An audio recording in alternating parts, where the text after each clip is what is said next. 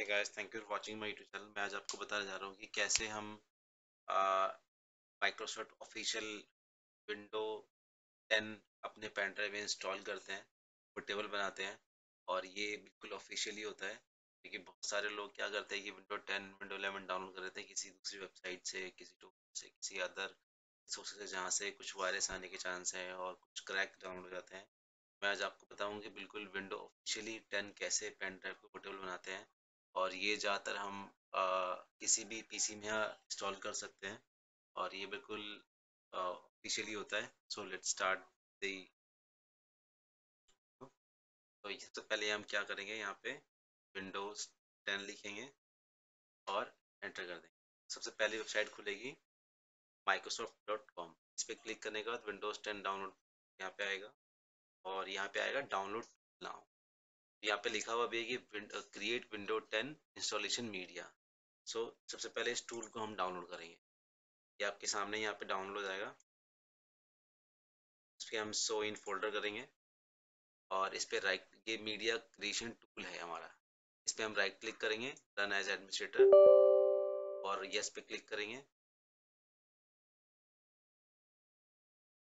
इस पे क्लिक करने के बाद में ये जो इसका टूल है विंडोज़ का ऑफिशियली ये ओपन हो जाएगा।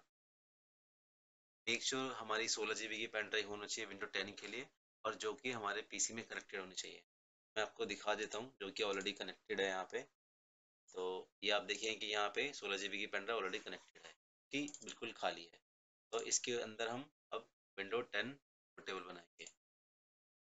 सो so, ये getting a few things ready यहाँ पे ये प्रोसेस लेगा अपना टाइम लेगा जो भी क्रिएशन का।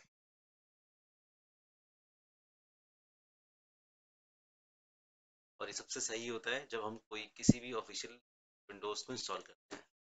तो यहाँ पे देखना है इसका application notice and licence terms आ रहा है। इसको सब कुछ डिलीट करना है तो आप डिलीट कर सकते हैं। उसके बाद इसको एक्सेप्ट कर दीजिए।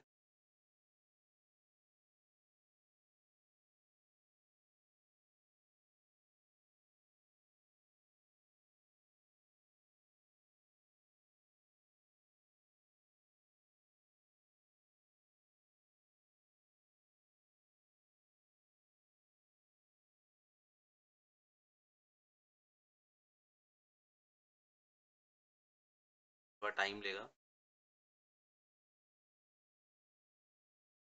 ये माइक्रोसॉफ्ट का टूल है और ये डायरेक्ट ही आपको इंटरनेट के थ्रू इंस्टॉल डाउनलोड करेगा। तो यहाँ पे आप देख सकते हैं, यहाँ पे ऑप्शन आता है अपग्रेड दिस पीसी आप इस पीसी को भी डायरेक्टली अपग्रेड कर सकते हो। किसी भी वर्जन में टेन में अपग्रेड कर सकते हो।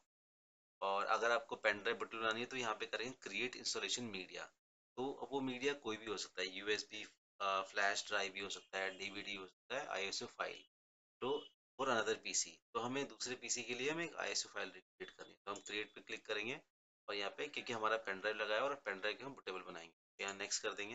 नेक्स्ट करने के बाद में ये आ, दो ऑप्शन लेगा।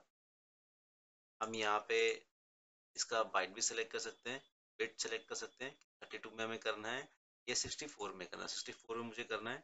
और ये यूज़र रिकमेंडेड मैं हटा दूँ क्योंकि ये जो अगर use this recommended option for this PC कर दूँगा तो जो इस पीसी में इंस्टॉल होगा, उसकी रिकमेंडेशन को पिक कर लेगा।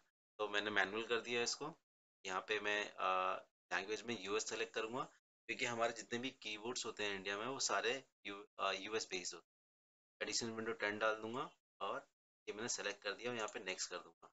अब यहाँ पे यूज़ फ्लैश ड्राइव ये कह रहा है कि it needed to be at least eight G B ये कह रहे हैं कि कम से कम जो पेन ड्राइव होना चाहिए, वो एट जी बी होनी चाहिए।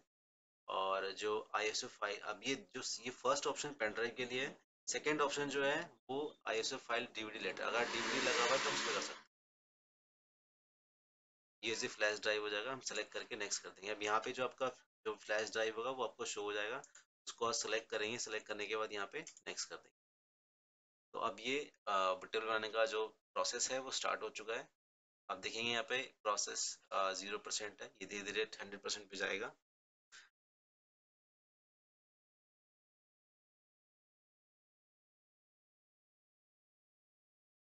आप देखेंगे प्रोसेस टू परसेंट हो गया। इस तरीके से हंड्रेड परसेंट जाएगा।